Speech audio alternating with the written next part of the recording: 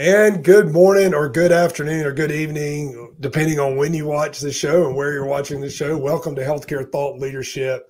I'm Marion Spears Karr, and I'm so glad you're here. It's a great Friday to be with you. It's 12:30 Eastern Time where I'm located, and we are um, really uh, honored today to be talking around about this idea of co-creating and adapting to change in the healthcare industry but we're going to go much deeper than not just talking about the ability to co-create but we we're really going to talk about what are the challenges facing change initiatives in, in our industry? What are the challenges facing organizations? Why it's important to visualize um, the creative process and the collaboration process and and we have an expert in our uh, as our guest today uh, Louise Harris, Dr. Louise Harris, founder of and change expertise, a development leader at Change Design Institute. Louise, I am so glad you're on my show. You and I've had some great conversations mm-hmm. leading up to this.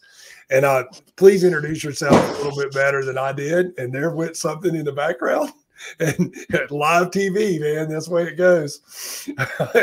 and uh, introduce yourself, Louise. How are you? Hi, thank you, Marianne. Well, I hope that woke everybody up.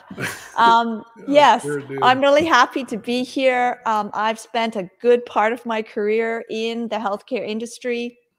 Um, first in in systems design, and then in e-health, uh, and now in transformation and really survival, um, and moving from survival to thriving and my my my passion and and what I um, what really motivates me and, and, is comes out of a lot of the challenges that I had earlier in my career, where I just saw so much um, so much potential for change and so many ideas, and just the inability to get things off the ground. Um, and it was so frustrating, and that led me to uh, take some time out and do a PhD to figure out how can we solve this problem. Uh, and we did actually. I did my research in healthcare and we made some really amazing discoveries, I think, and solved some great problems. Um, so I'm really excited to be here to talk to you about this, Marion. Well, we're, we're glad to have you. And if you're watching live, please post in the comments, or if you watch the recording, where you're watching from. And if you have questions for Louise as we go through this process, please let me know. And uh, just so glad to be here. Louise, one of the things that that um, that you and I talked about was the work that I do in the executive recruiting mm-hmm. space. I work with healthcare organizations all over the country, United States, Europe, and Newfoundland. Uh, but you work with companies all around the world, and we we use some of that work too. And the change in our industry is arguably, and I said this in the description, arguably, um, if you will, at the highest level of it. I mean, so many things are coming down the pipe, and and a lot of the work is being done almost in these silos. Nursing are focused on improving the nursing practice, where the physicians are looking to improve the care delivery model that they're working under, and et cetera. And that just ramp continues to go from department to department, division division, et cetera. And the question I have for you right now is tell me a little bit about why this need to be co-creative, to be collaborative, and engage uh, a lot of different people in this process. Why is that so important? Yeah, yeah. Well, that's a great question, Marion, and you know, there's a couple of reasons it's so important. But I think the very first one, which I do think people recognize, is the need to become patient centric rather than provider centric and and you know that is kind of a common rallying call. So the challenge is you cannot be patient centric in a silo because the patient's experience is not siloed. From their point of view their mm-hmm. experience is it's an integrated experience across the healthcare system. It's one experience. And so to to actually be patient centric you have to have integrated solutions across acute care, public health, you know, every aspect of health, as well as across physicians and nurses and, mm-hmm. um, you know, physical therapy and occupational therapy and psychology and, you know, everything else. Yeah, I, lo- I love that um, point that you made about how the patient doesn't experience it in just the situation with nursing or just the situation. Mm-hmm they experience holistically throughout their experience comes from all the collective components. And I think that is a key piece. One of the things I asked you offline, and I really want to talk about uh, from your perspective, is what has been the biggest barrier uh, so far to embrace this this idea um, around you know co-creation and collaboration. And in a little bit, I want you to really dig down and tell mm-hmm. us a little mm-hmm. bit what that looks like and why mm-hmm. visualization mm-hmm. is so is so important. But it, tell me a little bit about what are the big barriers? What's caused? How did we get where we are? I guess that's maybe the question I need to ask. Well, I think you know there's there's a series of barriers, and you know one of the barriers is natural due to silos. Is that every silo has its own perspective, and so when you are immersed in your own perspective, it is difficult to understand other people's perspective. And so your solutions and what you think very much come from your own perspective. So it's you have um, conflict that comes from misunderstanding and from the fact that everyone actually has a, a siloed point of view, right? So mm. one's looking at the, you know, it's the classic elephant issue, right? One's looking at the trunk, one's looking at the leg, one's looking at the tail, and not realizing that their perspectives are that different. So that's one challenge. But then the next challenge, once you realize that, is okay, so how do you? come to understand each other's perspectives, how do you create clarity? Because initially, when you're bringing different perspectives together, it's like different rivers or streams coming together. There's a lot of turmoil and and confusion, right? And that can be very um, stressful for mm-hmm. people. And especially in healthcare, there's not a lot of room uh, mental or emotional room to be handling any more stress, exactly. right? And so, just purely out of self preservation to be able to do your operational work, people will pull back from that. So, that's another um, big barrier. And then, of course, you know, that leads us to the question of okay, so how do we overcome that confusion? You can't prevent it, it, it is what happens how do we overcome that? How do we get through that quicker? How do we enable people to see a bigger picture, not just their silo? And our traditional means of doing that, using a lot of verbal discussion and focus groups and flip charts and whatever, just add to the confusion because verbal communication is serial and when we're trying to pull together different perspectives and understand you know what's the impact on the patient when a nurse does this and a physician does that and it's disconnected you know what's the impact on the patient and why does what the nurse do and the physician do need to be connected? We're, we're looking at like a multidimensional thing with all these different connections and you can't describe that in words yeah, and you you that, this was one of the main reasons. There's a lot of reasons why I wanted to have you on the show, but this was one of the key standout um, points that after talking with you, I really wanted to make. I wanted really wanted you to make. We do stick oftentimes in our industry to the narrative. It's mm-hmm. you know meeting after meeting after meeting discussion after discussion with some great action plans that come out of it, but mostly a to do list that's not necessarily directed to solving the real problem. Um, and, and you talked about with me offline about the need to move from being just centered on the narrative and the discussion to creating a visual process um, to see that. And, and I shared with you uh, offline about something I did as I was working on my coaching model. But um, mm-hmm. um, talk a little bit more about about what does that look like? How do we bring everyone together? How do we start to move from creating a narrative to creating a visual uh, approach?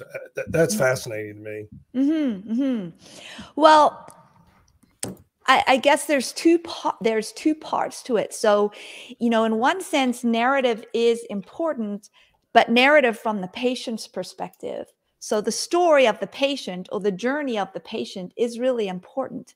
However, we can use visual narrative to describe that much more effectively than verbal narrative because in a visual I, I just um, imagine you say, you know, here's a path and here's some waypoints on the path.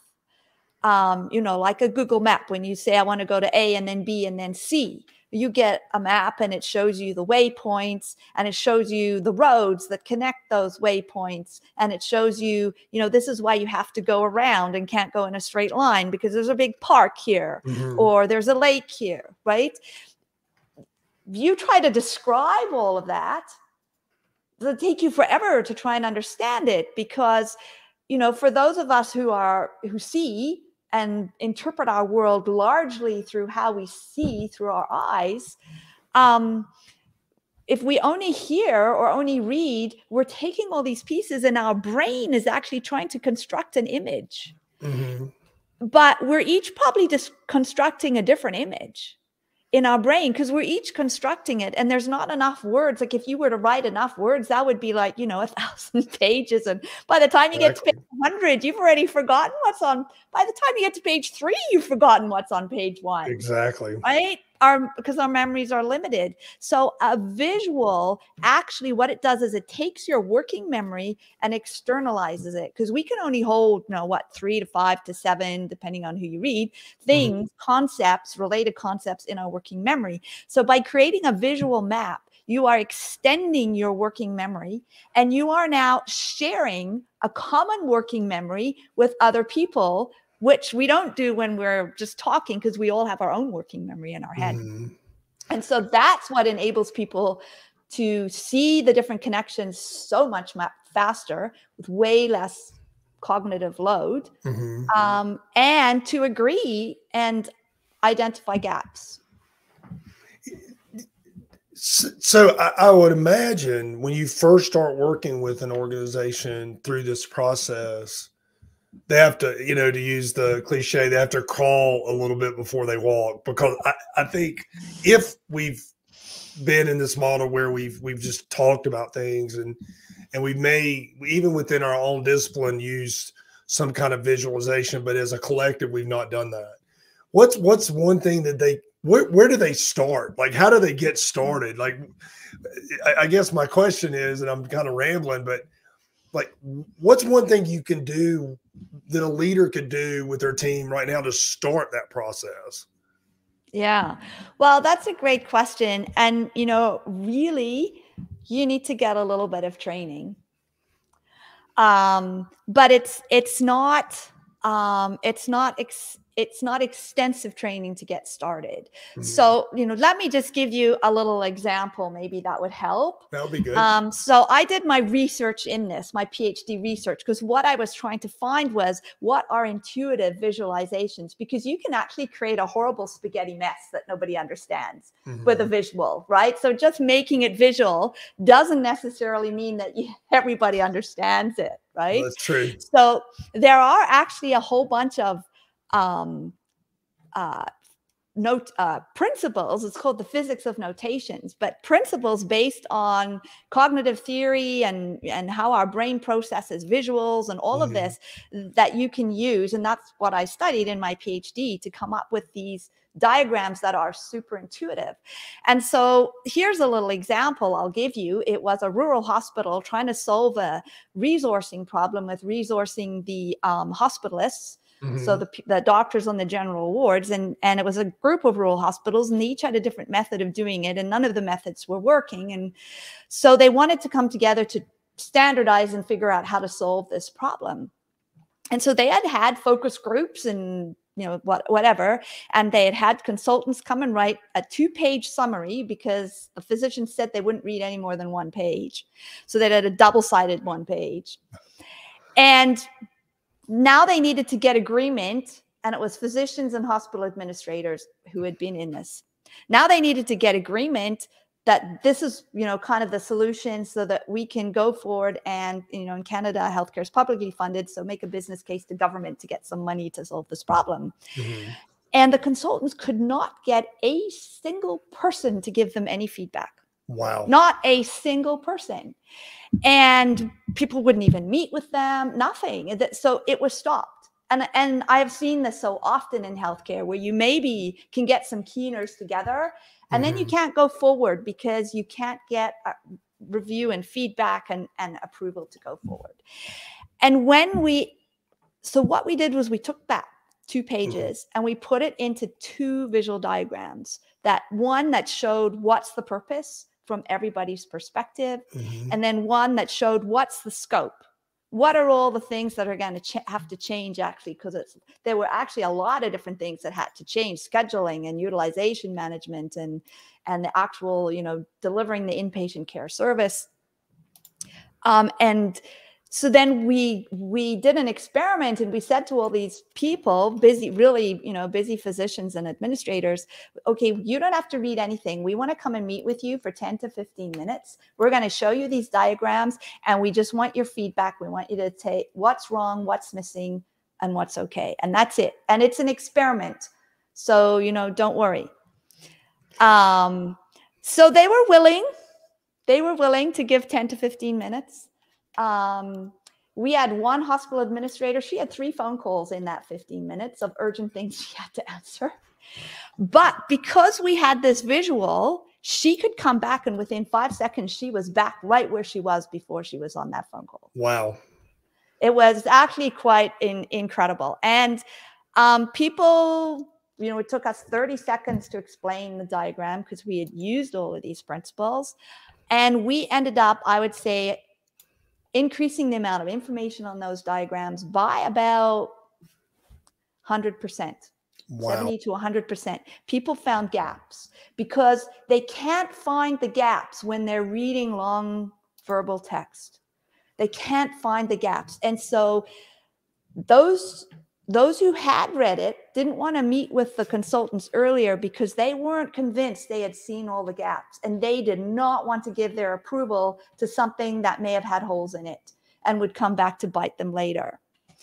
So, once in this situation, we discovered so many gaps we also discovered that hmm, you know what we should have talked to the nurses and we should have talked to the allied health workers who actually have to plan all the supports for a lot of the patients who are elderly to go home like like there was actually a lot of things that were challenges that were part of the reason why it was difficult to re- retain um, these hospitalists not only just the financial compensation.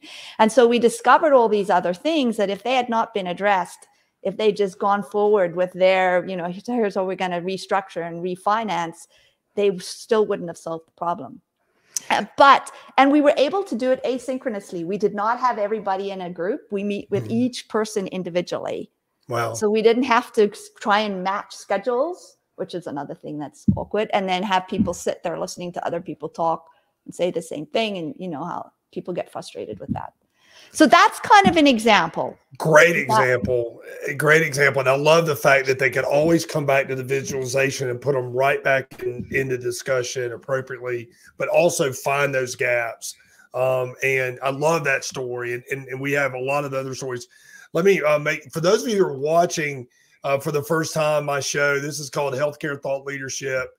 It's a LinkedIn live show that's every Friday where I invite people uh, in the healthcare industry across a lot of different segments, life sciences and pharma and biotech and healthcare delivery as my guests to share their knowledge, share their background, and to share their ideas with with my network and beyond. Today, we're talking with uh, Louise Harris, who is sharing with us her work around change, and um, we checking in. Uh, appreciate Samana Jetty checking in from Alberta, Canada. Thank you, Samana, for joining us.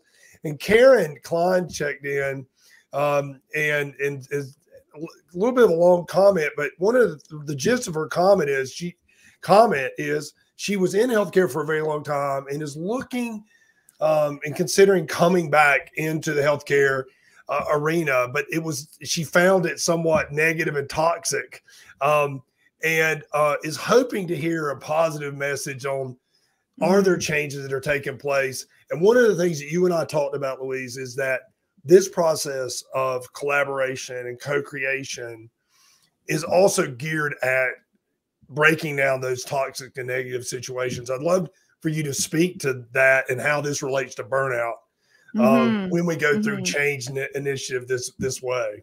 Mm-hmm.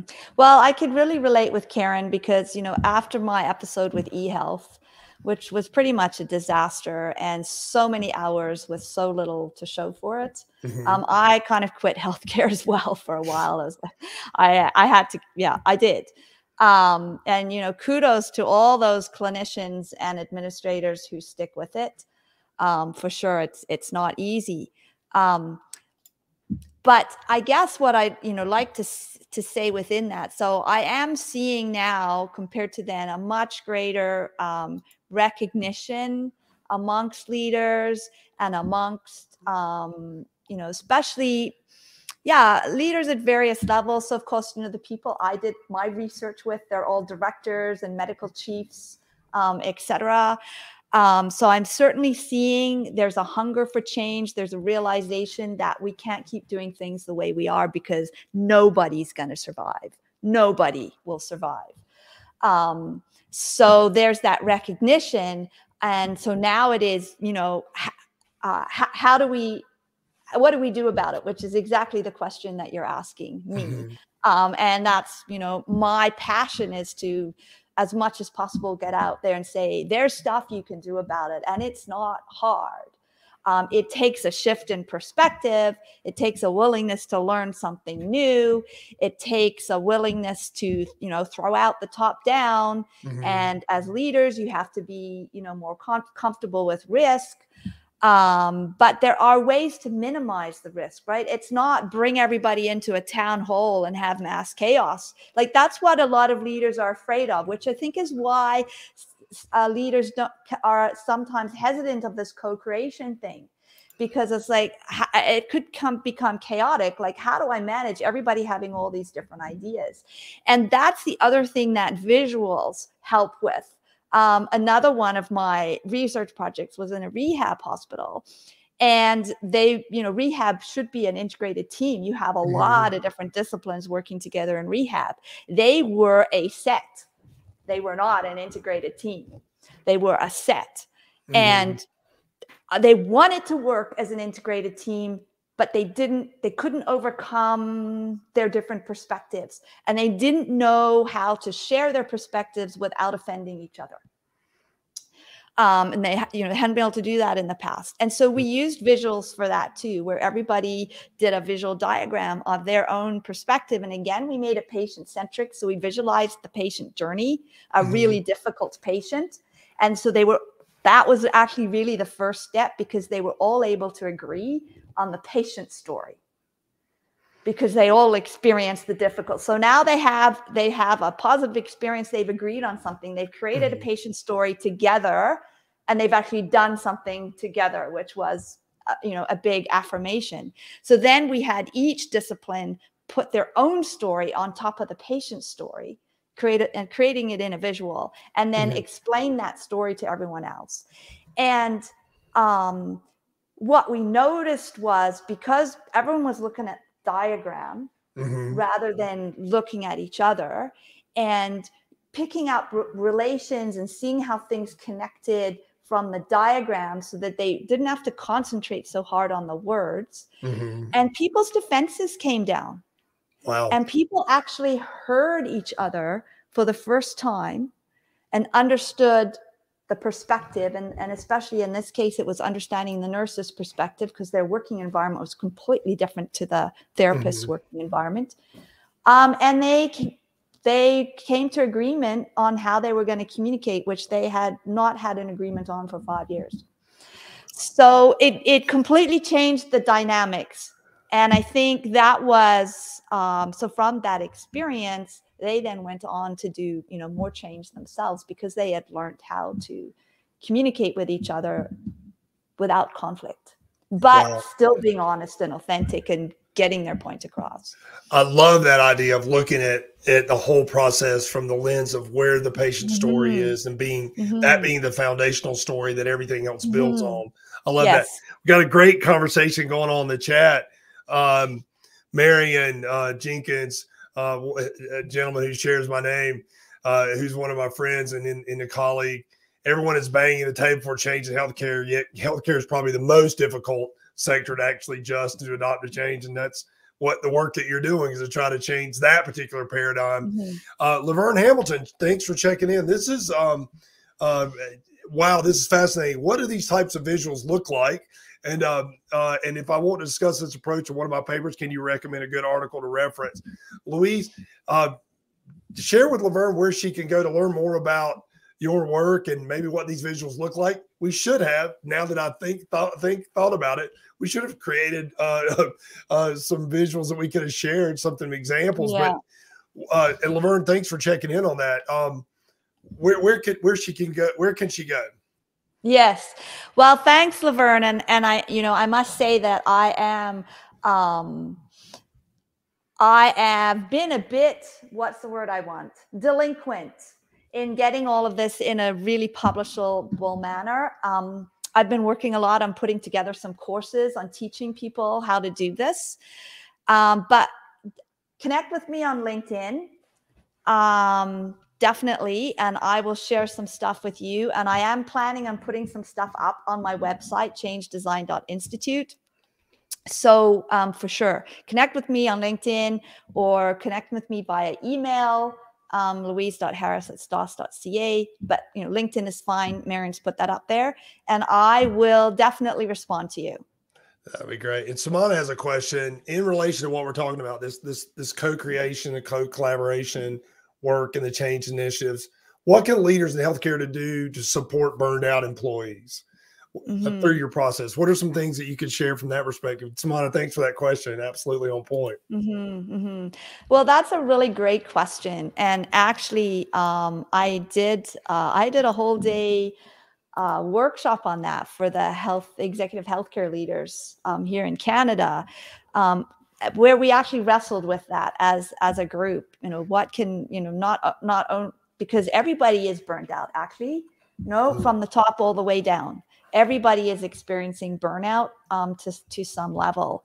And so I, I think that we're you know two two kind of key things that came up about that and one was realizing we can't keep doing things the way we are so that is the very first thing is recognize that we can't keep doing things the way we are. We have to change. The second is is that um, everybody is cognitively depleted right now. And so a lot of burnout that is being experienced there's definitely you know in healthcare there's a fair amount of emotional burnout but there's also a lot of cognitive burnout that has come from not only having to deal with the pandemic, but deal with your own life. So we all of us um, we've had to make decisions daily that we've never had to make before. Like we spend most of our day on autopilot. Our brain only has so much energy, mm-hmm. and our brain is fantastic at being able to create all these neural paths so we don't have to consciously think about stuff. We can just do stuff on autopilot. But in the last few years, we haven't been able to do stuff on autopilot. We've had to think do we wear a mask? Do we not wear a mask? Do we go? Do we not go? Do we let the kids? Do we not let the kids? Do we visit elderly parents? Do we not? Like all these decisions we've had to mm-hmm. be making. It's been like running a marathon every single day. And, and, you know, we know what that does to your muscles. Well, it's been doing that to our brain. So I think that's the second thing is, you know, for leaders to realize that uh, people are cognitively depleted, and therefore we have to communicate in much more efficient ways. We've got to stop bombarding people with a lot of verbal information that they just can't absorb anymore. We have to learn to communicate much more clearly. We have to learn to really, I think we need to learn to communicate visually so that because it, takes way less cognitive load to um, have vision, you know, to read something visual. Yeah, I, I think the idea of being intentional about the cognitive load that we place on our followers as leaders mm-hmm. is what a great point. I love that point. And Samana, thank you for that question. We only have a few more minutes. I have your link um, to your website in the in the banner. And by the way, we'll share all these links in the comments for those of you who are watching live or watching the replay. But you cre- you created a a readiness assessment. assessment mm-hmm. Frame the you call it frame the future readiness assessment. Um, that the the what the the um, the viewers can can take. It's a free assessment. Mm-hmm. Tell us a little bit about that and how that how it works. Yeah, so it's just a really short assessment. It's five questions, um, and really, you know, it's a checklist as well. So um, basically, it's going to give you five areas to rate yourself or your organization or you as a leader.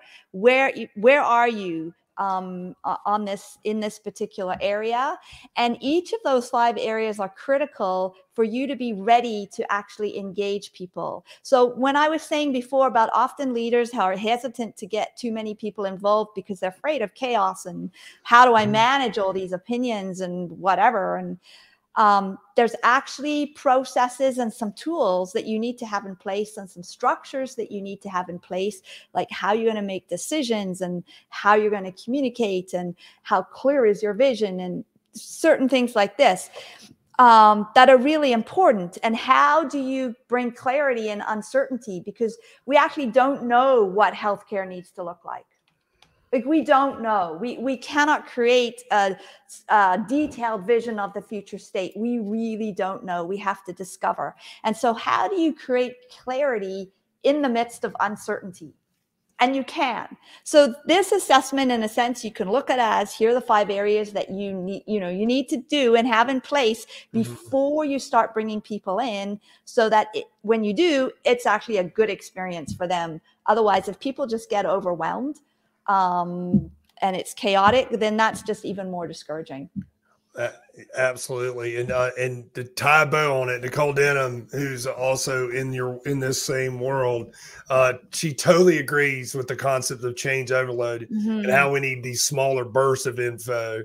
Um, and again, going back to that earlier point that you made, thank you for that comment, Nicole. Uh, that being aware of the cognitive load that we place place on our team and and and all these different things. Louise, we are completely out of time. Uh, I knew this conversation was going to do exactly what we've done. I knew we were going to go. We need to have you back on the show and maybe go go a little bit deeper. But thank you for being on Healthcare Thought Leadership. Uh, any last comments you'd like to make to the audience, and then I'll wrap us up. Um, my last comment is yes, we can. Yes, we can. Absolutely. I like that motto. And and for those of you who are watching this as Healthcare Thought Leadership, it's my LinkedIn live show every Friday where I get to bring these amazing people like Louise on the show to talk about healthcare, life sciences. What are the things that are making a difference in the world?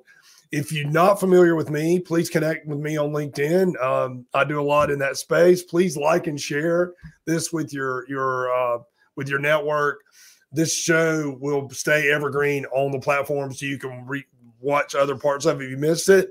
And if you'd like to learn more about my work at Comar Partners, I'm an executive search leader.